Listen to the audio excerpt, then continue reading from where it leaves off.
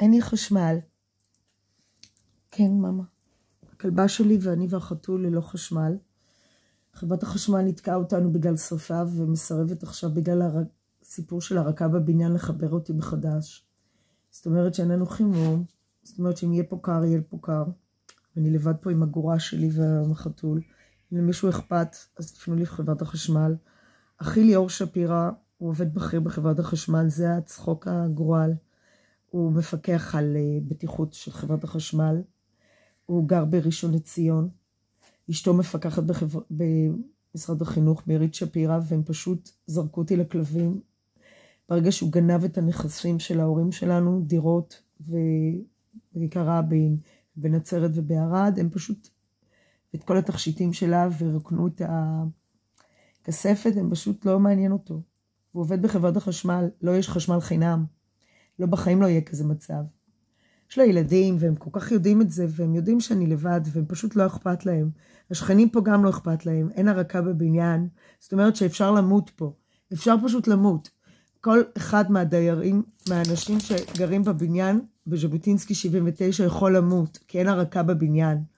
זה מה שזה אומר שאין הרקה. אין הרקה בבניין.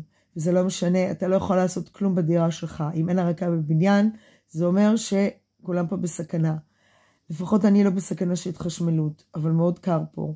ואני שואלת את עצמי למה במדינת ישראל, בצפון תל אביב, אנשים חיים ככה, במצב שהבניין לא בטיחותי.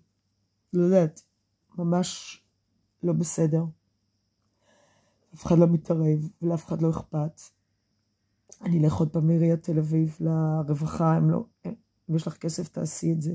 הם לא אכפת להם שאני אוציא את כל הגרוש האחרון שלי, חשמלאים, חברת החשמל מסרבת לחבר אותי, בגלל שהבניין פה לא תקין, והעורך דין רוצה כסף גם כן, וכולם רוצים כסף, וזה פשוט בלתי אפשרי.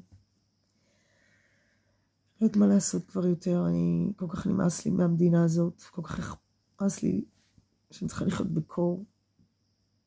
שבעלי חיים שלי צריכים לסבול גם כן. זה פשוט לא בסדר. מאוד קר בדירה עכשיו, התחיל לרדת גשם, לא יודעת איזה חורף צפוי לנו, ואני פשוט לא יודעת עד מה יהיה הסוף. יש לי מזל שיש לי כלבה שהיא מהבדואים לפחות. בטח סובלת פחות מהקור משהו. אני לא יודעת. יש לי מיגרנות איומות ואני לא מרגישה טוב ואני לא יודעת מה לעשות. מישהו יכול לעזור לי להתערב בחברת החשמל, אני מאוד אשמח.